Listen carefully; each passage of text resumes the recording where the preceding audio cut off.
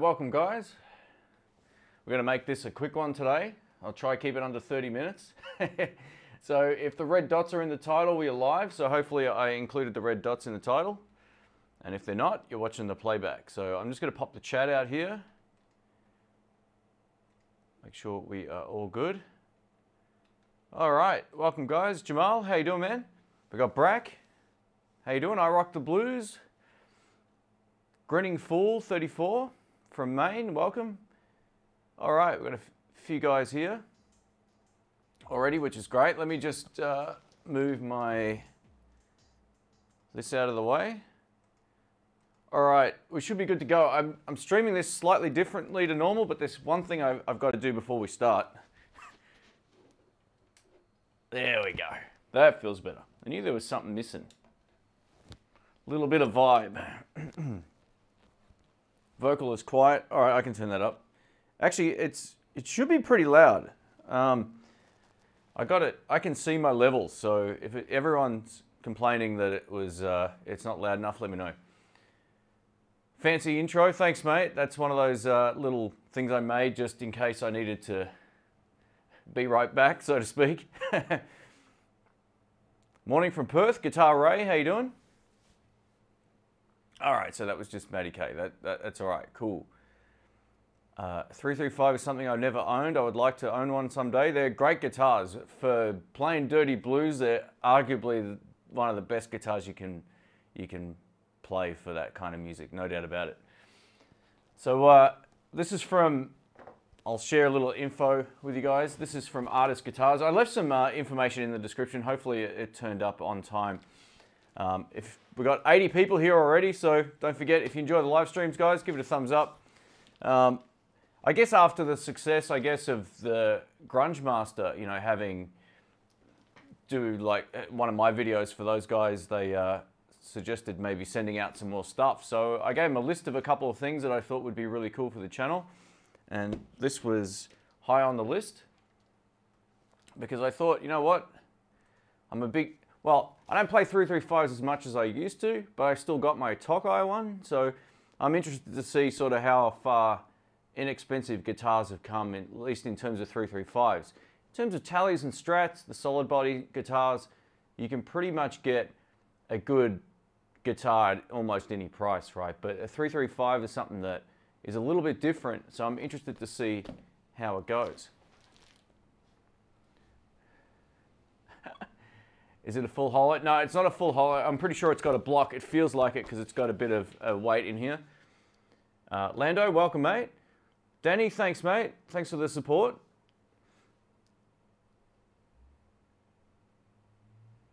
I wonder how the 335 would sound on the artist amp. So that's what we'll give it a shot with on the actual uh, review of this. Uh, today I've got the Kemper hooked up. Um, just for live streaming, it's a whole lot more practical. So I guess we'll get into it. I don't want to waste everybody's time. Thanks for jumping on the uh, on the live stream too, guys. I appreciate that. And thanks for all the positive comments, especially on the last video that I made, that pickup swap one. It was uh, the comments were, were the best yet. So uh, thank you. Time for another rig rundown. I mean, I should call that gear rundown so I don't get uh, a copyright strike. So there's one of those coming up this Saturday. It took me about eight hours to put that video together. No joke. So uh, yeah, we're gonna, that, that video is coming up.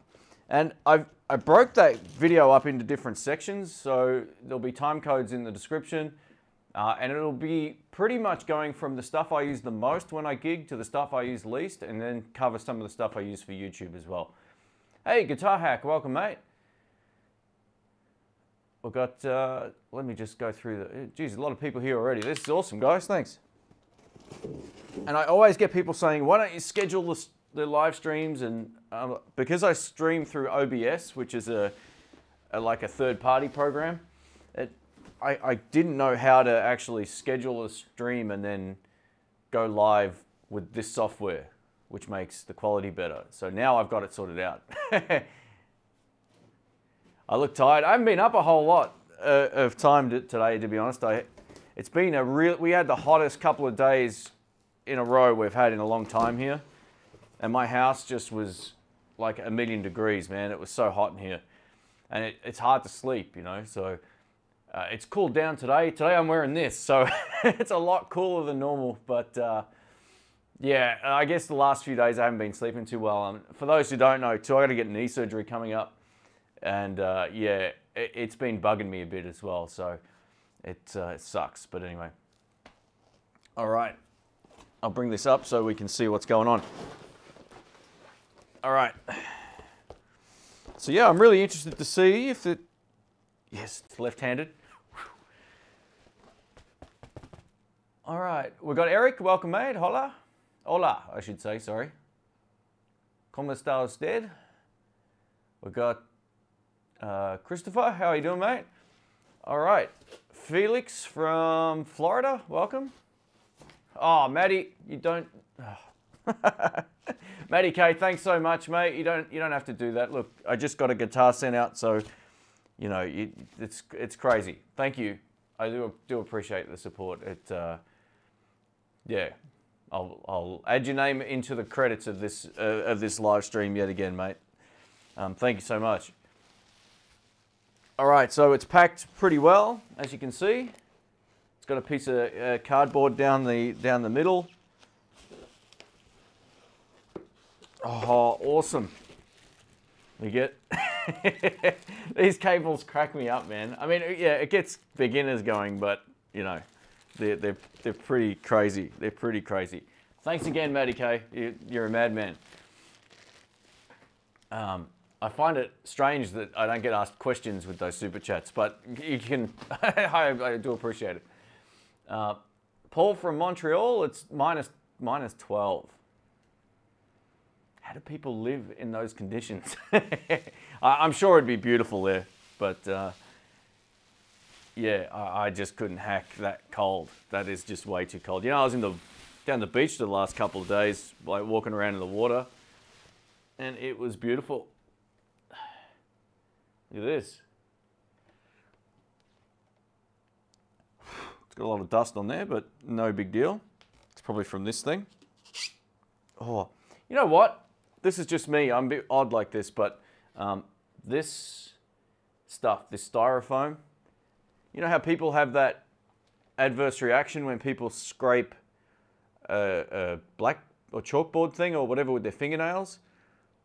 This is the same for me. The the black or, or the um, the chalkboard doesn't bother me, but this bothers me. I hate this stuff. that hits me in the teeth for whatever reason. So uh, so far so good. It looks great. I'll tell you a bit more about it once we get this off.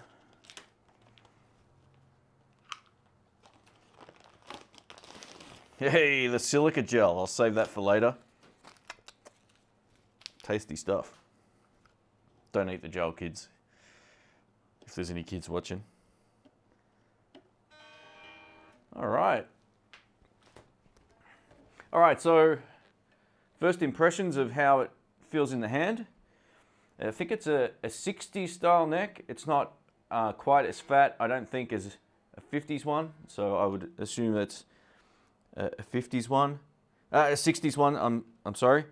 I've got the, the binding on the F-holes, which is actually pretty cool. That's, uh, that, that was completely unexpected because I don't think some brands do that still even today. Uh, we have the jack here, which is cool. The toggle switch feels awesome. Look at the back on this thing. Holy crap. That's a one piece back. Yeah, it is. How about that? That's insane. Now, I don't really usually care too much about um, how many pieces the, the body's being made out of. Sorry, you can see the reflection here going on, but um, and that weird sort of uh, texture you're looking at is actually my ceiling because it's that reflective there's no easy way to sort of showcase how nice the the back is here. It says uh, Artist QC checked by Leo. Got uh, a very familiar looking headstock. what do you think of that? That's, uh, that's interesting. I should have got my Tokai out and compared it. That's uh, we got binding on the fretboard. That's pretty cool. That's pretty cool. Feels good. What I'm going to do firstly and foremost is tune it up. And I want to do this without putting everyone through the pain of hearing me tune it up. So I'll do it like this and then we'll plug it in. I'll just go back through the comments here, guys. Hang on. It's hard to keep track of them sometimes when I'm showing stuff.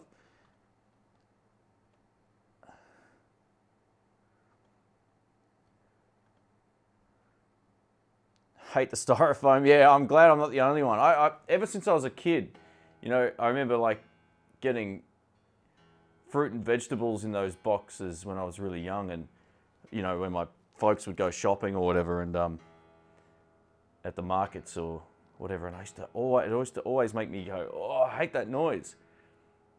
It's uh, that squeak, man. It gets me every time.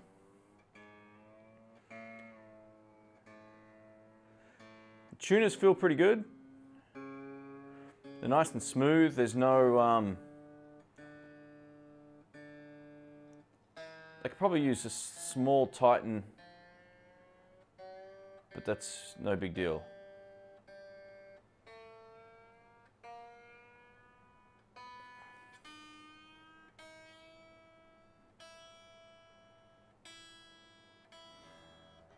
I'm going to tune it up again. Let me just get rid of this stuff. This is really cool. I'm like shocked, you know, they can make a guitar that looks like this. You know, I've, I've had um, two Epiphone ES335s. I had one back from about 2000 and it was awesome. And I bought another one a few years later and it wasn't quite as good. Um, it was just that particular guitar. It had a lot of, had, oh, not, not issues, but it, it, was, it was a slightly flawed instrument in many ways. I didn't hold on to it for, for very long. I should have kept that initial one. That was great. Um, and like I said before, I think it's a lot harder to sort of mess up a, a, solid body guitar, whether it be a Strat or a or a Tele. This kind of guitar requires just a it requires more work. So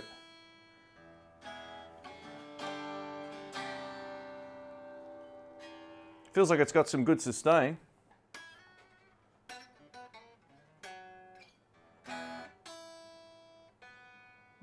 Plug it in. What do you reckon? Give it a quick go. This chat, uh, this uh, stream will only be 30 minutes or so. I throw those silica packets at, at, at, oh, in the guitar case. Oh, that's a good idea.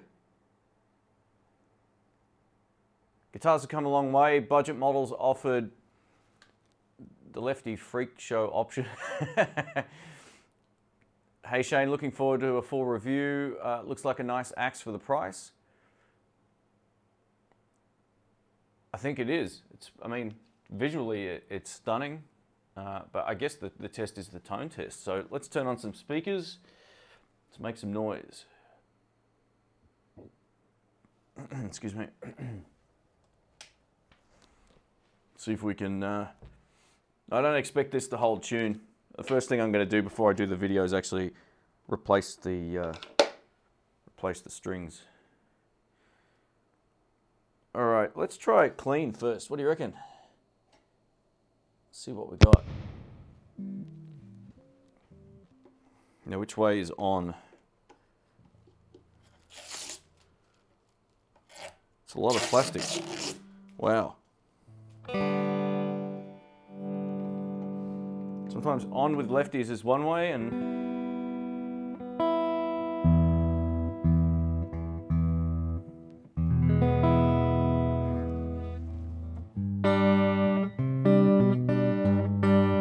it's a little out. Let me just stretch these in. Where are they made? I think that, oh, I'm getting feedback. Hang on. They're made in uh, China. I'm pretty sure. Uh, it doesn't say. Oh yeah, it probably says on the box. I, I, I would assume that's that's where they're made. Let me just stretch these strings out one more time.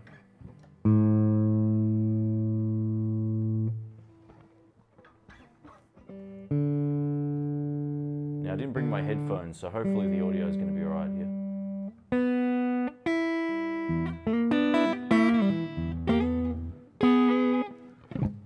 Do I? Ah, good.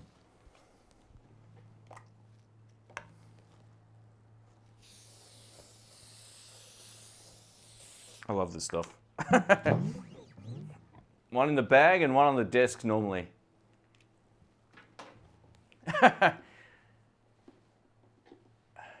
hey, Quinton, how are you, mate?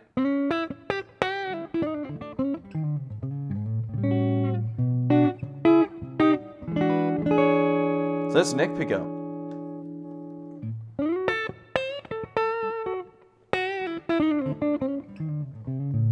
So that's the, the Peavey Bandit.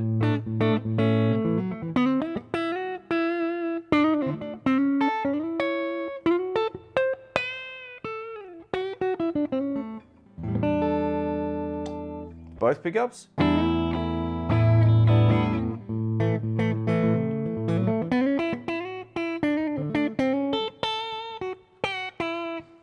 Both pickups with neck down a bit.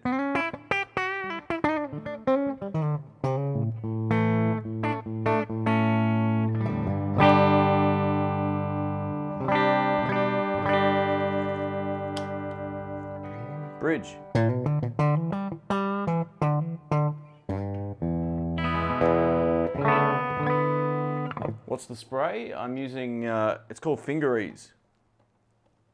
It's a, sort of like a, I don't know, like a string lubricant or something. It kind of keeps the strings clean, but makes them, makes it feel like you've been playing for a while. It's really cool. It's, I don't know exactly what it is. it just says guitar string lubricant. I don't know. I've just been using this stuff probably 12 years or more. Since I first tried it, I was like, oh, this stuff's great. You can spray the back of the neck and all that kind of stuff. If you've got old strings, you can, you can essentially, um, uh, like it'll it'll feel better. You can just saves you having to change them as often.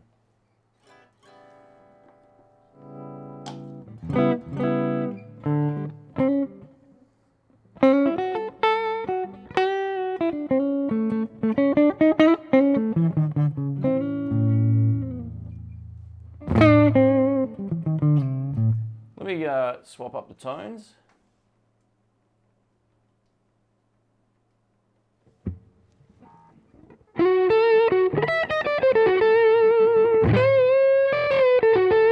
This is still a Peavey Bandit with the T dynamics or the volume on the T, the T dynamics down, I think, and the volume all the way up.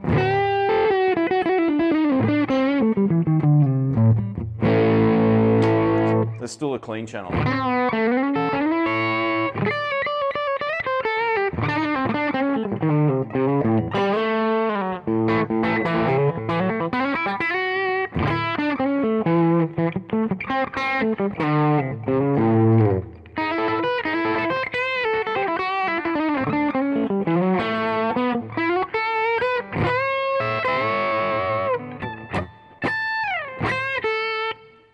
Playing these licks.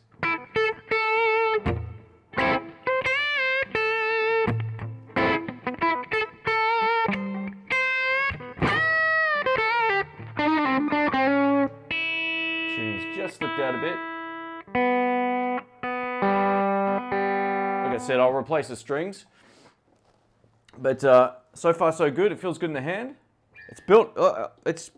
I think the thing that's freaking me out a little bit about it is how nice it actually it's finished. I should have got my 335. Maybe I'll do that in the next video. But uh, yeah, we'll do a comparison or something. Maybe a blind test.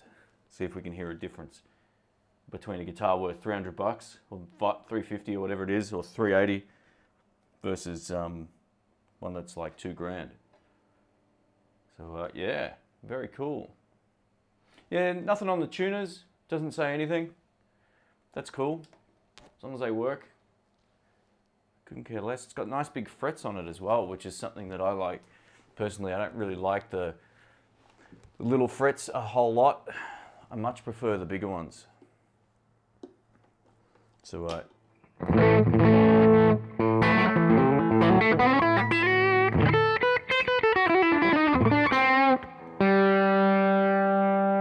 These new strings, man.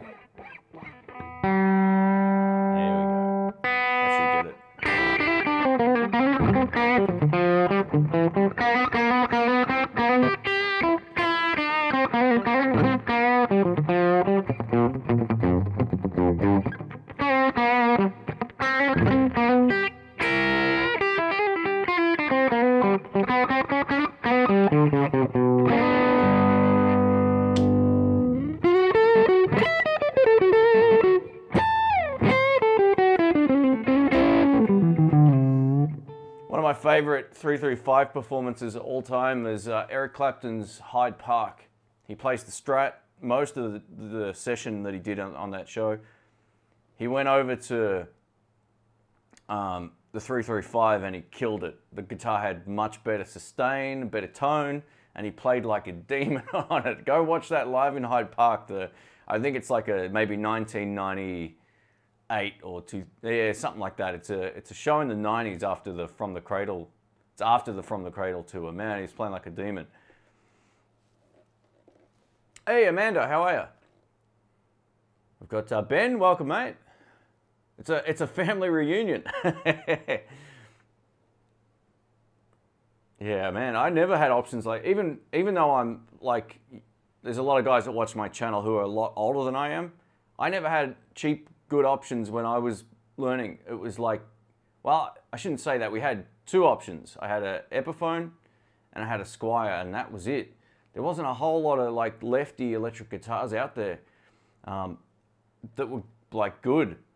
it just wasn't. I think the only one that I remember seeing was like Samick, and that I never really liked the look of some of those. They're not bad guitars now, but yeah, some of them I, I wasn't a huge a huge fan of uh, visually. It, you know what? It's got a bit of weight. I, I think it might actually be slightly heavier than my my 335, but my 335 is pretty light. Um, I would, I reckon it's about the same weight as a Strat. A Mexican Standard Strat.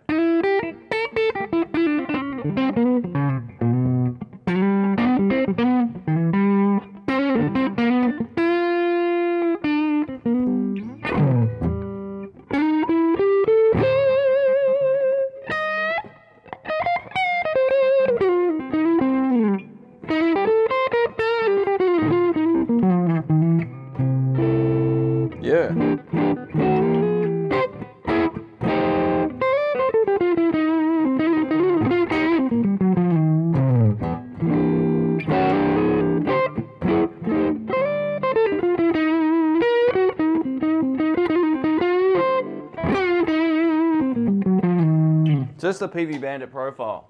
That's just clean channel cranked. I'm sort of picking pretty soft too, uh, being that I'm not wearing headphones. I don't want anything to feedback.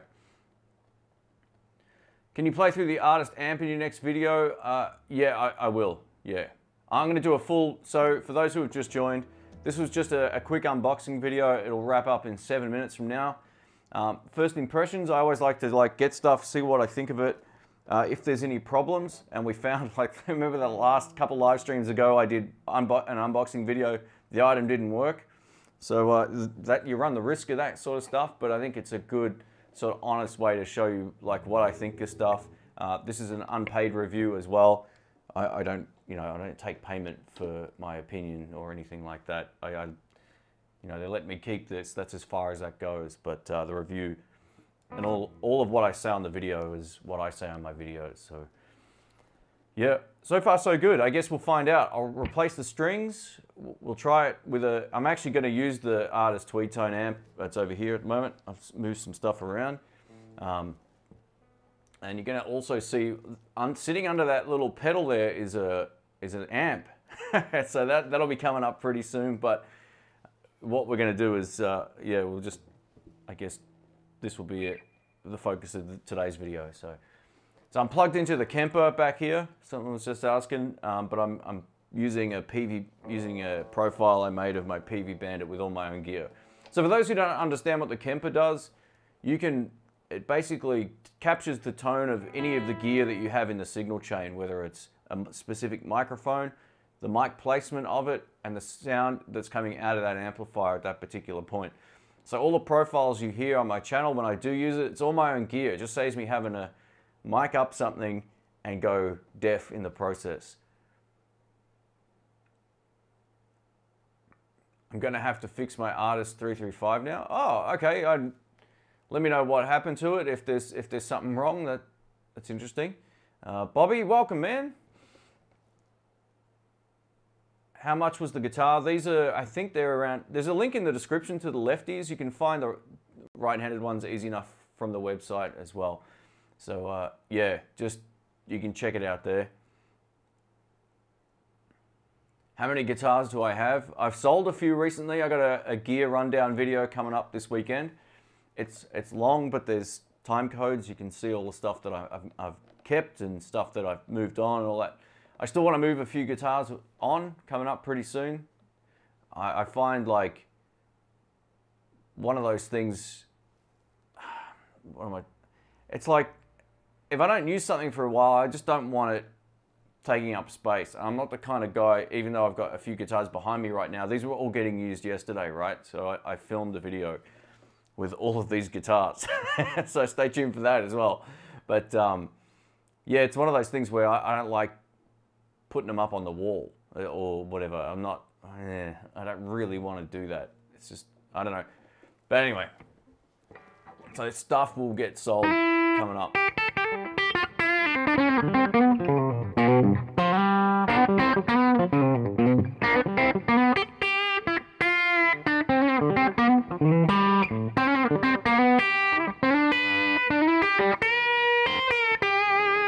Man, I don't know about this. This is pretty cool in a good way.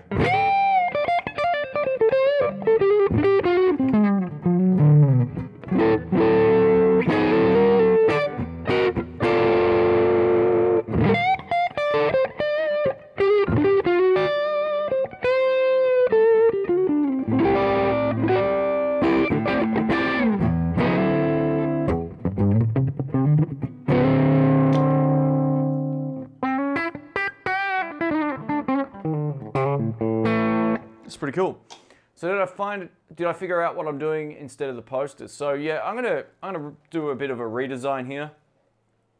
Um, I'm gonna, I've got a few ideas for what I wanna do. I've just got to get it priced up. It's nothing elaborate either. So I just wanna, I think what I'm gonna do, I've taken a lot of good photos over the years, at least in my opinion, of, of different stuff, places I've been, uh, instruments, all that kind of stuff. So I'm thinking maybe of changing it up to like photos I've taken and having them on the wall uh, sort of framed. I'm not 100% certain yet, but uh, I've got a couple of ideas for kind of making it look a little bit better. I'll probably shoot into the corner instead of like that um, pickup swap video I did recently was shot into the corner, but I still have the room set up the same. So I have a few ideas. I just, I've got to spend a full day really doing it right if I'm going to do it. So uh, yeah, something will something will happen soon.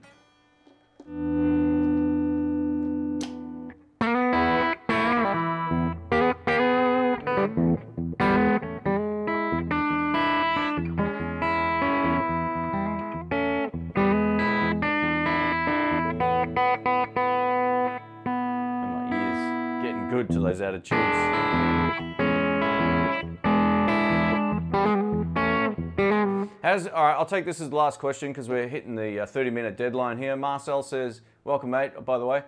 Says, how does this compare to my uh, Tokai 335? First impressions. Well, the first thing that I can tell you that's different is the neck shape is completely different.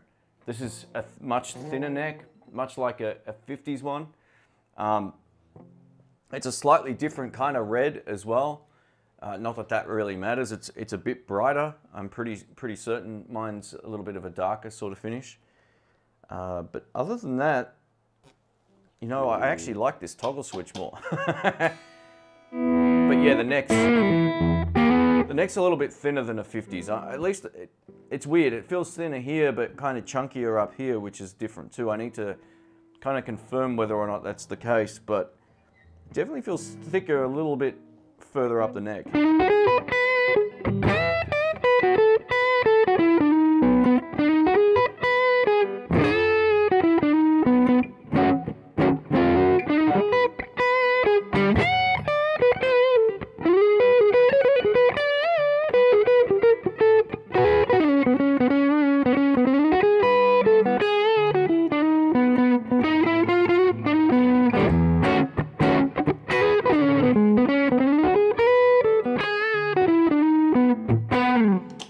Great.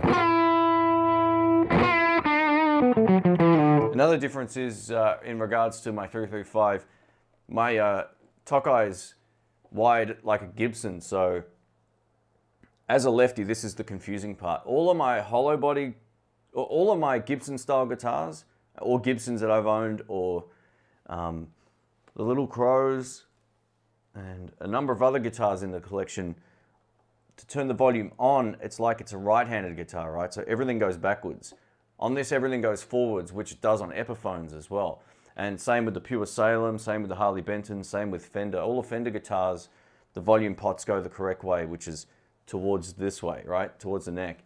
Uh, on my Tokai, they all go backwards, but I'm so used to that now that it, um, yeah, it's just one of those things that you, you just get used to as a lefty. Not all of the guitars, uh, most of these type of guitars usually go backwards, but I'm glad they've put it forwards because if you're a beginner, the last thing you want to do is have to get used to um, pots that go backwards on guitars. It's second nature now for me to do that. Like there's certain guitars I play. This is this will actually take me a little while to get used to because my 335 on is this way. Now on is forwards, which is the way it should be. So it's just one of those things. As a lefty, you get used to that. As a right-hander, you have no problems with it normally. All right, guys, so that's the quick uh, first impressions slash unboxing of uh, the Artist ES335. I've put uh, details in the description, so you can you can have a look and see the specs and all that kind of stuff. Just give me one sec. Just going to turn that off so I don't feedback. And then I got something else I'm going to just show you for one second here, which I'm keen to check out. Um, I got my hands on a ribbon microphone. Uh, this is something that I've wanted to try for quite a while. So we're going to see whether or not ribbon mics are good for vocals, electric guitar. I mean, they're renowned as being good electric guitar microphones, but I want to actually do some comparisons with some of my other mics just to give you a sense of why these are popular. I haven't tried this yet, obviously, so uh, yeah, this will be coming up in the next few weeks. I think I'll do the guitar first, uh, and then we'll go over to the to the mic. But maybe we'll mic up the amp with the with this. So we'll see how we go. All right, guys, thanks for watching. Thanks for hanging out. If you enjoyed the stream, please give it a thumbs up. I appreciate that. We might come back and do another live stream, uh, like a Q&A one coming up soon. Uh, not today, but soon anyway. Maybe later on in the week or something like that. But uh, yeah, thanks for hanging out. I appreciate it. And if I didn't get to your questions, I apologize.